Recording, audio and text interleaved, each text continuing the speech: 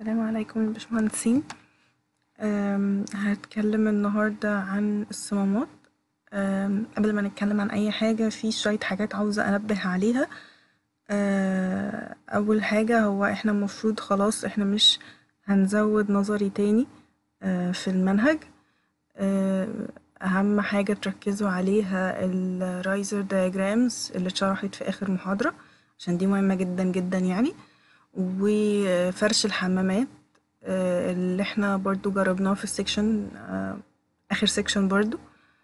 آه، اللي هنتكلم عنه النهاردة الصمامات هنتكلم عنها خلينا نقول بشكل سريع شوية. هو مش هنزود أي حاجة عن اللي اتقالت قبل كده دي ممكن تعتبروها مراجعة.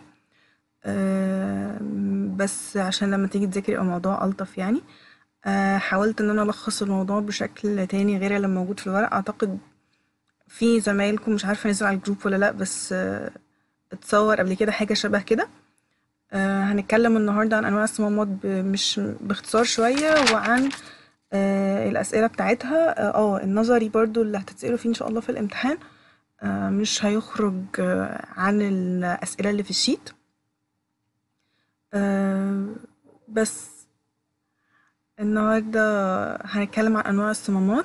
آه، محتاج تعرف إيه في الصمامات أصلا يعني جزء الصمامات كله عشان تقول أنا خلاص ذاكرته. آه، محتاج تبقى عارف إيه. محتاج تبقى عارف آه، يعني استخدام المحابس إيه. اشتراطات العامة لتركيبها إيه. والأنواع بتاعتها كل نوع بتبقى عارف بيتركب فين. في حاجات ممكن يقول لك ميزة وعيب. في حاجات آه، قايل لك الاشتراطات بتاعتها هي مخصوص إيه. آه، تبقى عارف بس الحاجات دي وخلاص. لو لقيت نفسك عارف إن أنت تجاوب الحاجات دي بعد ما تخلص خلاص يبقى أنت كده ذاكرت الجزء ده كويس. آه، بس أنواع الصمامات بقى الصمام صمام البوابة أو الجيت فولف محتاج تبقى عارف عنه نقطتين. آه، إن هو محبس برونز أو أو أو الزهر والقلب بتاعه بيكون برونز. علشان تقول إن أنت ظبطت الجودة بتاعته محتاج تتأكد من حاجتين. ضبط الجودة في التركيب إن اتجاه ال- القفل يكون آه القفل والفتح يكون رأسي. آه يعني إيه اتجاه القفل والفتح رأسي؟ يعني لو أنا عندي دي الماسورة الماسورة أنا شايفاها واقفة وركبت مثلا ال valve هنا في السكينة بتاعته تبقى طالعة كده. يا يا تقفل كده يعني لو هي كده هيبقى مفتوح لو هو ال valve كده هيبقى مقفول لأنه ال- ال- ال gate أو البوابة هتكون سادة اتجاه المية مثلا لو اتجاه المية ماشي كده. تمام؟ آه، فده معناه إن أنا لما هحركه أو لما أحب أقفله يا إما هفتح يعني هيبقى الاتجاه رأسي مش أفقي. تمام؟ تمام. آه لو آه لو هحتاج إن أنا أظبط الجودة آه في الاستعمال أو أعرف منين هو ركبته مظبوط أو يعني اتركب مظبوط ولا لأ أنا زي ما اتفقنا إن إحنا بنملى الخط تدريجي بعد ما أركبه عشان الهواء يخرج لأن أنا المفروض المفروض يعني إن الشبكة بتاعتي ما يبقاش فيها هواء تمام؟ آه في نوع تاني اللي هو ال non valve أو الصمام المرتد أو الرداخ آه ده بيمنع المية من الرجوع في اتجاه العكس. يعني إيه؟ يعني أنا بكون بعد خلاص أنا صممت الشبكة بتاعتي وعايزة المية تكون آه ماشية في اتجاه معين. آه، لو في احتمالية إن المية ترجع وده في الغالب وارد أنا بكون خايف على حاجة مثلا زي البامب ما ينفعش إن المية ترجع عليها تخرج منها بس لأن لو رجعت هتتحرق. ف... فأنا بحط ال non-returning valve ده بعديها. بيبقى عبارة عن حاجة شكلها إيه؟ المية طول بتبقى حاجة بالمنظر ده. المية طول ما هي ماشية كده فهي بتزق ال gate دي تبقى تعملها كده فالمية بتقدر تعدي. طيب المية بقى لو رجعت في الاتجاه ده لما تيجي تزق ال gate كده المية ال- ال gate مش هتفتح فالمية بالتالي مش هتعدي من ال... في الاتجاه المعاكس تمام؟ طيب آه، إيه اللي انت المفروض تعرفه عنه؟ المفروض تبقى عارف وظيفته انواعه في نوعين في نوع اسمه الزنبوركي ده بيتركب في المواسير الرأسية والنوع المرتد بيتركب في المواسير الأفقية. مش هينفع ان انت تاخد ده وتركبه في ده أو ده وتركبه في ده لأن هو مش هيقوم بنفس وظيفته. بيكون مختلفين مع يعني ال ال هما من جوه تكوينهم مختلف بس الاتنين بيقوموا بنفس الوظيفة لو اتحط كل واحد في مكانه. آه، مكان التركيب آه، أو أماكن التركيب بركبه فين؟ وحدات الرفع اللي هي زي ما قلنا بيتحط بعد بعد الطلمبات على طول علشان أنا أمنع المية ترجع تحرق لي الطلمبة آه، أي مسار آه، المفروض المية فيه تمشي في اتجاه واحد آه، أو وصلات التغذية الرئيسية بعد الشبكة العمومية. ليه؟ لأن هي وصلات التغذية الرئيسية المية عشان تطلع برضو بيتركب قبلها بامب. ف... فلازم أحمي البامب بتاعتي بإن أنا أحطه بعديها. تمام؟ إيه الاشتراطات التر... اشتراطات تركيب الصمام المرتد؟ آه لازم اتاكد ان السريان السائل هو نفسه اتجاه السهم لهذا الصمام. يعني إيه؟ يعني اخد بالي الصمام اللي أنا هركبه ده زي ما قلنا وأنا بركبه لو أنا ركبته بالمقلوب فانا كده بوظت الدنيا. تمام؟ أنا كده منعت حاجة مش المفروض إنها تتمنع. آه لازم اتاكد كونه ان هو يقفل ويفتح ببطء. يعني إيه يقفل ويفتح ببطء؟ يعني هو لو لو قفل وفتح بسرعة هيكون لي ضغط فرق ضغط بسرعة في في الشبكة. هي- ممكن حاجات آه، المواسير وال- والفيتنجز اللي أنا مركباها ما تستحملهاش. فبالتالي لازم أتأكد إن هو بيقفل ويفتح آه، بالراحة. آه، ولازم أتأكد برضه إن هو ما بيأثرش على سرعة المية. يعني إيه؟ يعني أنا المفروض لما بركبه زي ما اتفقنا إنه ده ما بي يعني خلينا نقول إن هو أنا مش بستخدمه في إن أنا أتحكم في كمية المية اللي داخلة واللي طالعة قد إيه تمام؟ هو بس لو مية عدت من هنا يعديها لو رجعت هنا يقفلها. عدت بكمية قليلة ولا لأ مش فارق معايا أو مش ده اللي أنا بحطه عشان يتحكم في ده. آه، فبالتالي لو هو أثر لي على سرعة المية فهو بيعمل لي لوس زيادة. أنا مش يعني خلينا نقول إن هي ملهاش لازمة. فبالتالي لما أحطه أحاول إن أنا أراعي حجمه اللي هيتركب فيه على الماسورة بحيث إن هو ما يقلليش سرعة المية قوي أو ما يزودهاش قوي ما يعني يخلي كل حاجة قدر الإمكان زي ما هي عشان نقلل اللوسز. زي ما اتفقنا إن أي حاجة المفروض تتركب تتركب في مكانها. يعني الزنبور كده يتركب في الرأسي فعلا والمرتد ده يتركب في الافقي فعلا. تمام؟ آه بس آه بالنسبة للصمام العوامة أو ال floating valve هو بستخدمه إمتى؟ بستخدمه عشان آه في حاجات أنا بكون عايز المية تقفل يعني لو المية قلت عن منسوب معين يفتح فالمية تخش لو المية آه، وصلت لمنسوب معين لو أو الخزان بتاعي اتملى أو الحاجة دي اتملت فخلاص أقفل و... آه، وخلاص لحد ما يقل تاني.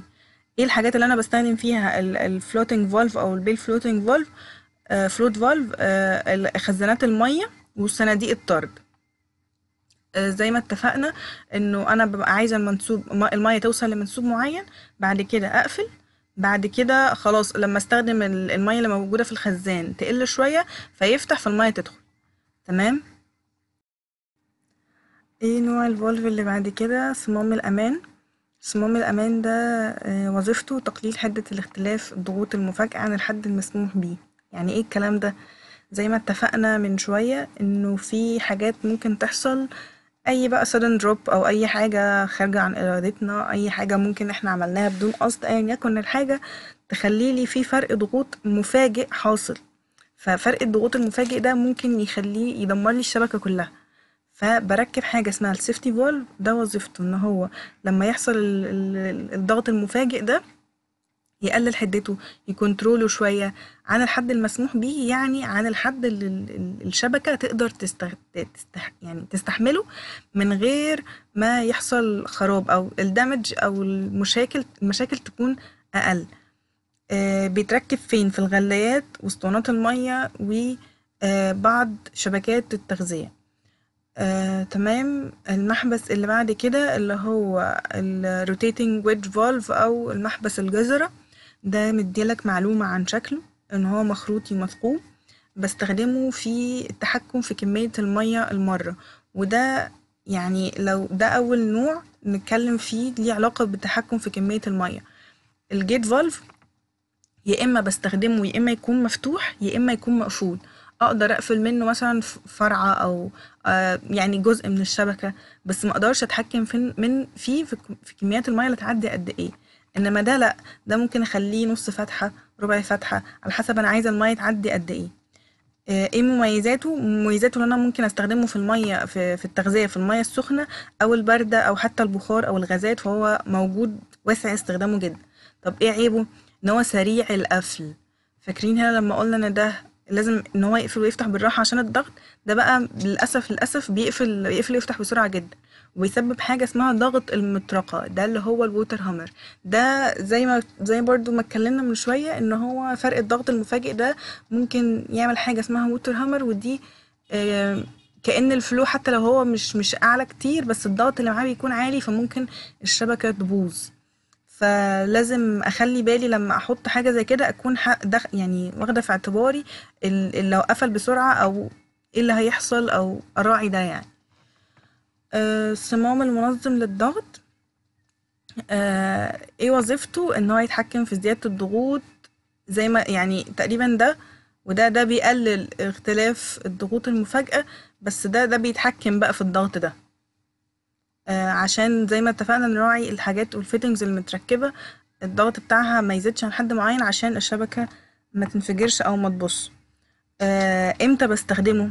لو عندك ضغط الشبكة زاد عن خمسة ونص كيلو جرام للسنتيمتر cube أو للسنتيمتر تكعيب آه لازم تحط آه صمام منظم. آه لو المباني اللي عندك فيها ارتفاعات عالية أو في مناسيب مختلفة لنفس المبنى يعني المبنى من الإنشاء بتاعه موجود على مناسيب مختلفة لازم تحط آه، صمام منظم للضغط. طيب إيه اشتراطات التركيب بتاعته؟ لازم يتحط في أوضة خاصة لوحده أوضة ألو... أوضة غرفة كده بتاعته لازم يتركب فيها. آه وفي إمتى بستخدمه؟ في الأماكن الموضحة في الرسومات. يعني أنا ماليش دعوة يعني مش بيتحط كده وخلاص لأ ده بيبقى فيه ديزاين ومدروس. آه، إيه هحطه فين؟ أو الأماكن اللي المفروض يتحط فيها فين؟ يعني ما بيتحطش كده وخلاص. فلازم لو هو موجود في في اللوحة إن هو يتحط هنا فلازم يتحط لا غنى عنه. لأن أكيد ال designer واخد في اعتباره شوية حاجات عشان كده حطه. بس ده دي حاجات باختصار إيه أنواع ال valves اللي عندك وايه آه وتستخدم كل واحد إمتى. تمام؟ إيه إيه التكملة بتاعة الجزء ده؟ آه، استخدامات المحابس في إيه؟ زي ما اتفقنا إن في محابس بتقفل وتفتح فإن أنا أقفل وأفتح ده معناه إن أنا ممكن أحطه لو هو موجود على فرع. على فرعة واحدة يعني أه هقفله. أو إن أنا لو حطيته على أول الشبكة فخلاص لو قفلته يبقى أنا كده اتحكمت في الشبكة كلها.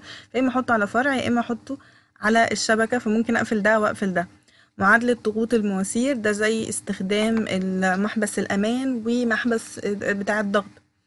التحكم في سريان المية في اتجاه واحد دي الميزة اللي أنا بستخدم فيها ال non returning valve أو المحبس الرداد آه، التحكم في منسوب المية دي زيها نفس الفكرة بتاعة التحكم في كمية ال flow أو كمية المية اللي هتعدي آه، تصريف الهواء من داخل الشبكة ده في نوع valve تاني بس هو مش موجود معاكو اسمه اسمه ال air valve الاير فالف ده وظيفته إن أنا المفروض الشبكة بتاعتي لما لما زي ما قلنا من شوية في الجزء ده اللي هو لما المية. إن أنا المفروض لما آخد آخد بالي اقفل وافتح بسرعة وأحطه آه آه راح فين؟ آه أهو هنا. آه لما يتملي الخط تدريجيا بيكون فيه هوا. طب الهوا ده المفروض يخرج. فبعمل إيه؟ باجي عند النقط العالية. لو ال ال الماسورة بتاعتي مثلا شكلها كده وفي pump هنا بتزق المية الحتة دي الحتة دي عالية. فباجي هنا ومركبة ال air valve ده بحيث إن الهواء لما لما المية تمشي تيجي عند الحتة دي الهواء يخرج والمية والمية تكمل. تمام؟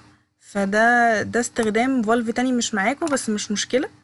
آه، أدينا فهمناه برضو. حاول تفهم أكتر ما تحفظ يا ريت عشان تسهل الموضوع على نفسك لأن كمية الحفظ كده هتكون كبيرة قوي عليك.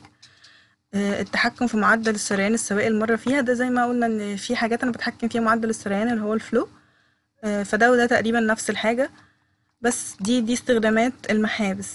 إيه اشتراطات العامة لتركيب المحابس. زي ما اتفقنا إن هو لازم يتركب في المكان المناسب حسب وظيفته. وجميع دي بقى خلينا نقول إن هي حاجة شبه بتسهل لي الكنترول يعني إيه؟ يعني لو أنا مثلا عندي آه، ماسورة كده الماسورة دي أنا سحبت منها مثلا هنا غزيت حاجة وهنا غزيت حاجة وهنا غزيت حاجة تمام؟ طيب أنا قدامي كذا حاجة. أنا ممكن أقوم مركبة محبس واحد هنا مثلا. المحبس ده لو أنا قفلته عشان مثلا لو ح... لو الجهاز ده حصل فيه عطل وأنا قفلت ده كل الأجهزة التانية هتعطل. فأعمل إيه؟ أحط واحد على الفرعة الكبيرة. أحط واحد على كل جهاز عشان اسهل على نفسي ال control. لما يجي يحصل عطل في الجهاز ده محتاجش إن أنا أقفل كل أقفل كل الأجهزة معاه أقفل ده لوحده عشان ده بس اللي هيتصلح. بس آه، ده ده كده خلاص ده ال... ده كده كل اللي أنت المفروض تعرفه. هيتبقى بس إن أنت تكون عارف آه، الأسئلة بتيجي إزاي أو إيه الأسئلة اللي في ال sheet تخص الموضوع ده. ممكن يقولك اذكر استخدامات المحابس وأنواعها أو اذكر وظائف الصمامات وأنواعها. آه، الاستخدامات زي ما شرحناها هي هي نفسها اهي. الانواع بقى انت مش لازم تكتب لي كل الحاجات اللي تحت كل نوع لا انت ممكن بس تكتفي باسم النوع وهنت بسيط عنه أو إيه بيتركب فين أو يعني اللي انت تفتكره عنه تكتبه أو يفضل ان انت تكتب ال- الوظيفة بتاعته. تمام؟ آه لو قالك بقى اتكلم لي عن نوع معين آه، بوابة مثلا أو أي حاجة لا تكتب لي بقى أنت مضطر تكتب لي كل اللي تحتيها. يعني لو قالك اتكلم عن محبس البوابة تتكلم عن كل ده. تمام؟ إيه تاني؟ آه، اذكر استخدامات أهو آه محبس العوامة والأمان والجزرة. ده ده تكتب بقى اللي أنت عارفه عن كل واحد فيهم. أنا ما كتبتهاش لأن هي هي تقريبا أول حاجة خالص. آه، الهدف من تركيب الصمامات ده غير لما يقولك اذكر ال- الفوائد أو ال- الاستخدامات. ده بنظم مرور المياه في المواسير أو أثناء إجراء التجارب أو الإحلال والصيانة زي ما اتفقنا. آه، يعني كل واحد بيتحط في مكانه حسب وظيفته بحيث إن هو يسهل لي ده. يعني أنا في الآخر الغرض من كل ده إن أنا عايزة أوصل لده. آه، تمام. آه، اذكر الفرق ما بين نوع الصمامات المرتدة زي ما قلنا إن هما نوعين الزنبركي والمرتد ده للمواسير الرئيسية والأفقية. آه، ما هي أماكن تركيب الصمامات؟ آه، ما اشتراطات التركيب الصمامات؟ آه بس هو هي الأسئلة غالبا بتبقى إن أنت حافظ وبتسمع بس أنا اللي أنا بحاول إن أنا أوصله لك إن أنت لما تحفظ حتى تبقى تحفظ وأنت فاهم شوية. آه أتمنى تكونوا استفدتوا شوية حتى وعامة ما تقلقوش. إن شاء الله الامتحان مش هيجي صعب يعني. وزي ما اتفقنا أنت لو حفظت أو الإجابات بتاعت أسئلة ال sheet ات اللي- أو ال sheet ين اللي فاتوا آه، مع ال section الأخير اللي إحنا اديناه فكده إن شاء الله مش هيكون في مشكلة.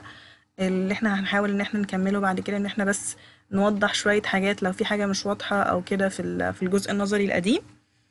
آه، بس ولو أنا معاكم لو في أي استفسار أو أي حاجة ممكن تبعتولي أو تبعتوا للدكتور مفيش أي مشكلة. بس.